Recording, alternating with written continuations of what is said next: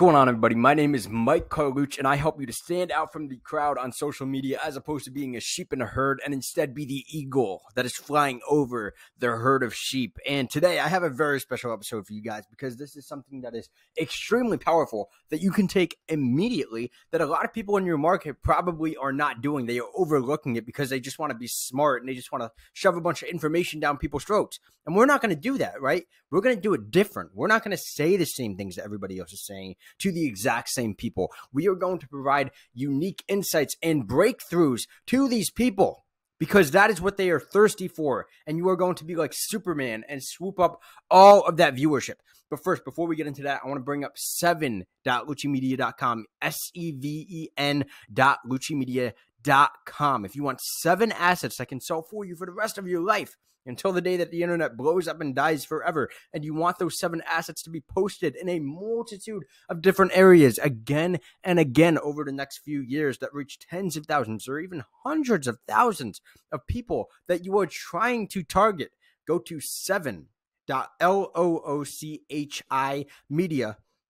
Now, anyways, let's get into this very important concept that you can take and use immediately on social media. And you absolutely should because a lot of people in your market are simply not doing it. A lot of people in your market, like the other people in your market, a lot of them probably think that they are competing with other people. They're competing with somebody else. Somebody else is stealing their viewership. If somebody's watching somebody else, then they are losing a viewer or something like that. Like they, they think in that like scarcity mindset.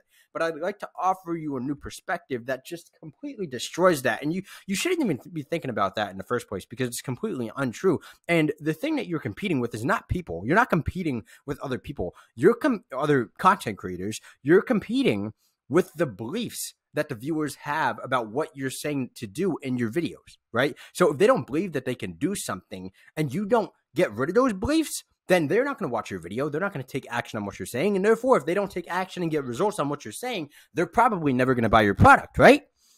So you need to give them a way to feel confident in themselves that they can take action on what you're saying in your videos. And how do you do that? You have to address all of those concerns that they have. You know, you know your market the best. So if you know your market, if you know the conversation that your customer or your viewer is having in their mind, then you need to go into their mind and, and just address the questions and concerns and doubts that they have in themselves. Now, let me give you an example. One of the people that I love to learn from is Frank Kern, and he's like an advertising guy on social media. And let me tell you something I've always had my doubts about advertising, about using Facebook Ads Manager and all of these different things. I've had those doubts for literally years, and I never thought to like go and do it just because I thought it was like way too complicated. And every single YouTuber that I would go and watch, uh, just like were saying the same exact thing over and over again, like showing all these technical things, using all these technical terms, and I had no idea what the hell they were talking about, and therefore I never did it, and that limited me. And if I wish, I wish I found Frank Kern like five years ago or something like that when I was getting started in internet marketing, you know.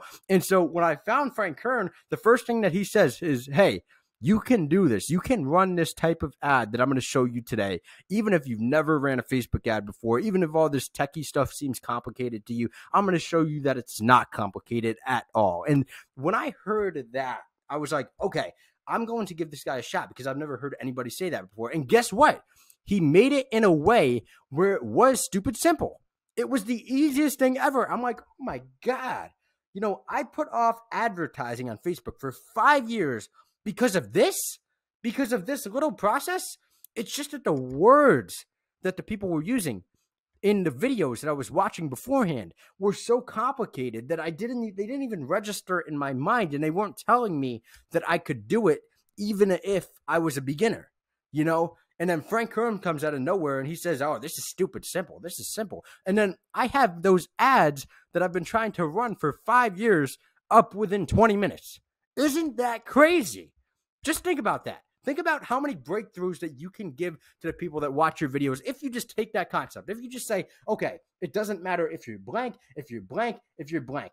You can still do this, and I'm going to show you how to do it stupid simple in a way that you can actually understand. Think about if you did that in every single one of your videos. How many more people like me and Frank Kern would actually watch your videos? Think about that.